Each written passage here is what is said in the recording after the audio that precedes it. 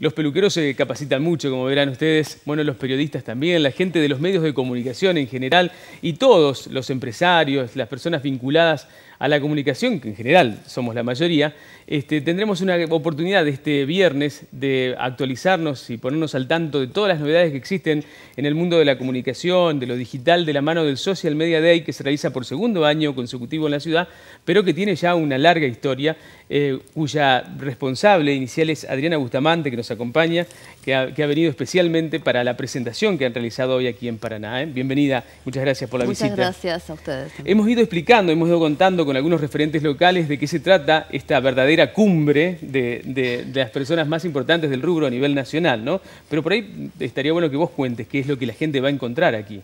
Claro, bueno, en realidad es una jornada que es de alguna manera itinerante, que surgió en el 2010 y es eh, una iniciativa global. Y nosotros venimos, eh, traemos al Social Media Day a Argentina.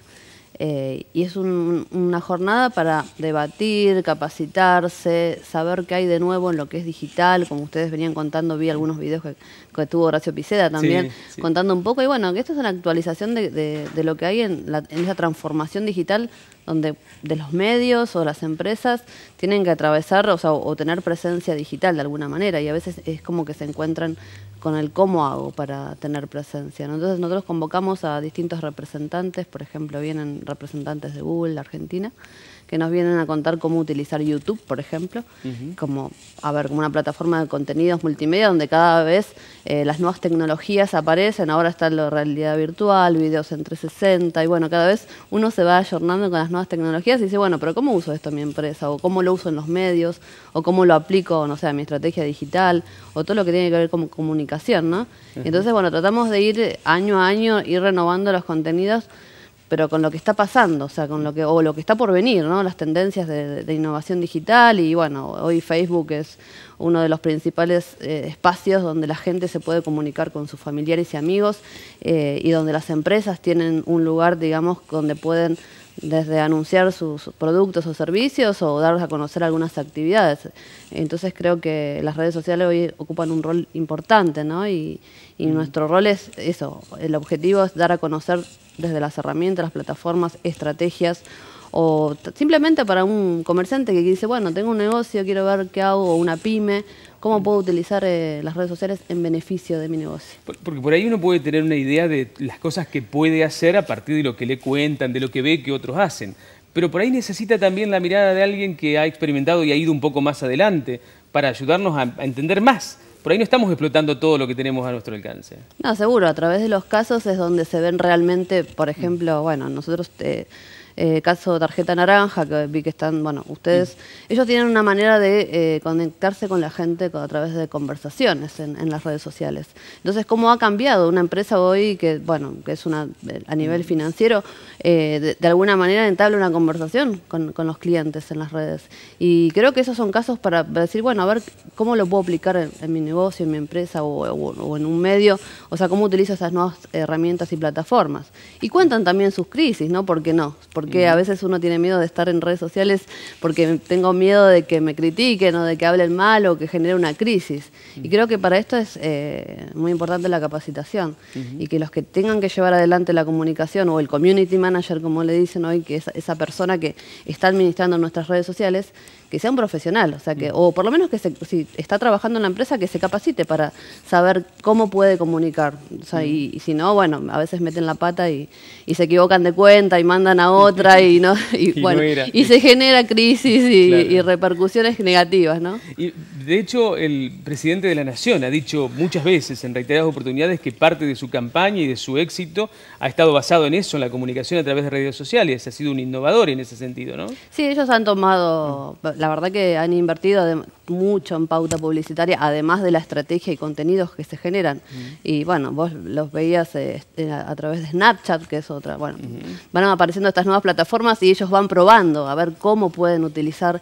Eh, y bueno, por ahí veías una, conferencia de prensa a través de, un Periscope, por ejemplo, que es otra, otra plataforma de streaming en vivo, y vos podés estar mostrando lo que, lo que está pasando en ese momento. Y la gente le da curiosidad a eso y entra y ve. Y, es una nueva forma de comunicar también, y estar más cerca de la gente. Entonces, creo que los políticos y a nivel gubernamental tienen que también aprender de esas nuevas herramientas, en, todo sentido, ¿no? Y usarlas bien, porque también les sale mal a veces. Sí, no, por eso, a veces por ahí meten la pata y bueno, después andan dando vuelta noticias en los medios que, bueno, por ahí, o bueno, o los medios también, lo que le pasa a los medios, que por ahí levantan alguna noticia eh, sin chequear las fuentes, porque también hay mucho ruido, hay cosas que no son ciertas, pero a veces la inmediatez de querer ganarle a las redes sociales por tener la primicia, entonces nada, ahí es como que hay una complicación, siempre suele pasar. Y en algún momento hubo una crítica muy dura hacia las redes sociales por una especie de anarquía en el sistema. ¿Existe realmente esa anarquía o, no? No, yo creo que no. En realidad, bueno, pasa que hay, todavía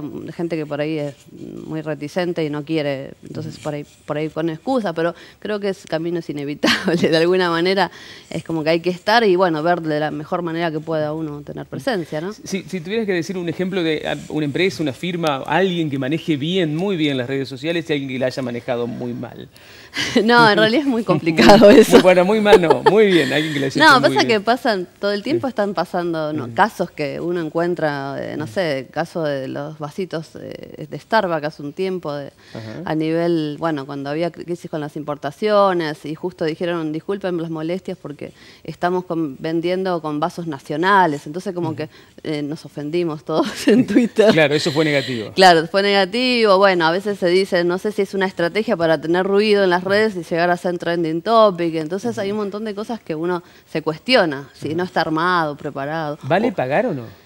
¿Vale pagar en qué para, sentido? Para, hacer trending topic, para ponerte en... En realidad sí, hay una empresa que es IMS, que es, eh, está en Buenos Aires, que maneja lo que es eh, pauta de LinkedIn, Twitter, Spotify. ¿Pero quiere decir, sirve ubicar? Sí, sí, en realidad, en realidad sí, pero hay que ver de qué manera. O sea, buscando hashtags eh, o sea, creativos y porque la gente no es que se prenda cualquier hashtag. A veces la gente de manera orgánica va generando eso, pero también está el otro, el otro tema que por ahí se generan, hay muchos bots que son los, van a hablar, también viene Fabio Bacaglioni, que es un bloguero muy conocido, de, que va a hablar de eso. ¿Qué son los bots? Es como, bueno, como un call center de, perfiles falsos que manejan agencias para, bueno, producir eh, un efecto en contra de una persona, de un político, por ejemplo, o en favor. ¿Esos son los robots? Claro, lo que, bueno, entonces ah. esto es como que, bueno, están, son programas que, que, bueno, vienen a hablar de esto, de que, bueno, pueden generar una tendencia porque se, hay un momento, si vos agarras dos horas en Twitter, por ejemplo, y, empezás, a, hay muchos perfiles que hablan de lo mismo,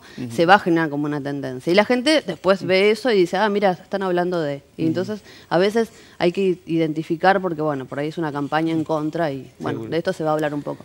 Es sumamente interesante, es inagotable, va a ser durante todo un día, viene gente muy importante, una gran oportunidad para no perderse para quienes están vinculados a los medios de comunicación, a las empresas, a los políticos, como decía recién Adriana. Nosotros tenemos un banner ahí en nuestro muro en Facebook para todos aquellos que quieran participar del sorteo de entradas que vamos a realizar este miércoles y todos los que todavía tengan ganas de participar pueden ingresar a la página del Social Media Day en Paraná y ahí inscribirse y participar. Sí, es www.smday.com.ar barra Paraná mm. y bueno, después les cuento rapidito otros, temas. Eh, Darío Gallo, que va a hablar de, que es el editor de Clarín, va a hablar de medios y bueno, mm. periodismo digital en, la era de las redes sociales. Creo que es muy importante. Y después eh, otros casos referentes acá a nivel local, que también está bueno ver qué hay o qué están haciendo algunos colegas, ¿no? También. Mm.